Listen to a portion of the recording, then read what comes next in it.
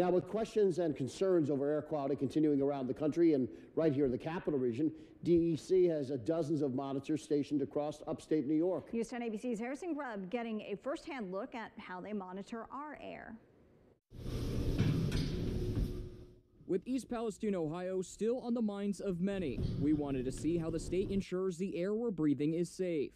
On the roof of the Albany County Health Department building in Albany's South End, the DEC is doing just that. We collect particles on filters in here. Dirk Felton is a research scientist for the Division of Air Resources.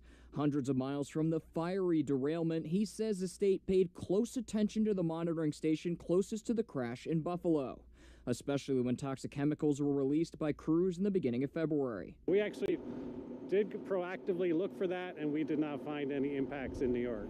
But monitoring isn't just happening in the wake of an environmental disaster.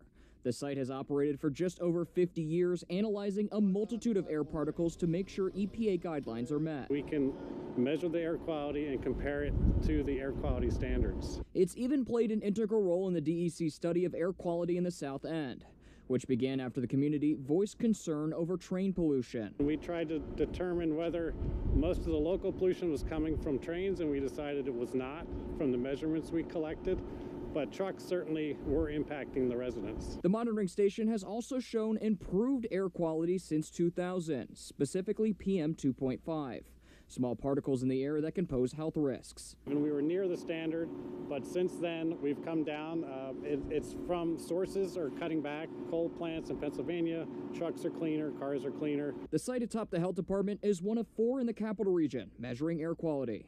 Reporting in Albany, Harrison Grubb News 10, ABC.